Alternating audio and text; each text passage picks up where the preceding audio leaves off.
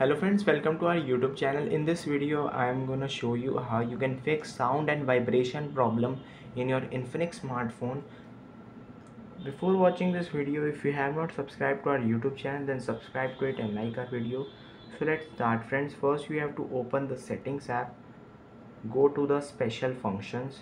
Swipe down. You can see this accessibility feature. Just click on it. Swipe down. You can see this vibration and haptics. Just click on it. If you have not enabled this just first you have to enable this and click on ring vibration. When an incoming calls comes it will gives a ring vibration and vibrate first then ring gradually. When incoming call comes it will vibrate first and then ring gradually. And you have to enable this notification vibration alarm vibration touch feedbacks you if you want to uh, go for touch feedbacks you can.